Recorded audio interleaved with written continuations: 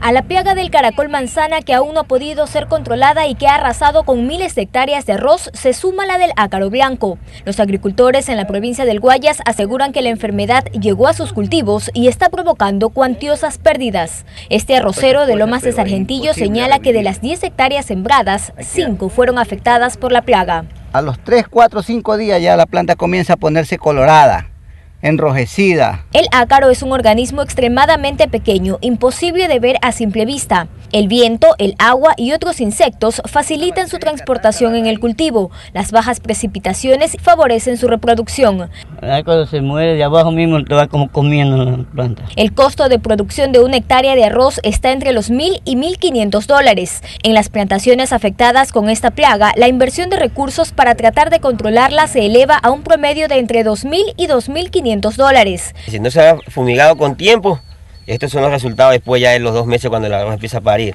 Ya pare malo. Y ahí es que viene la merma en la cosecha. Si usted cogía 60 sacos, está cogiendo es 20, están cogiendo 20 por cuadra. El ácaro está también en las provincias de El Oro y Los Ríos. Los arroceros solicitan la presencia de una mayor cantidad de técnicos del Ministerio de Agricultura para poder controlar la plaga. Joana Ramos, 24 horas.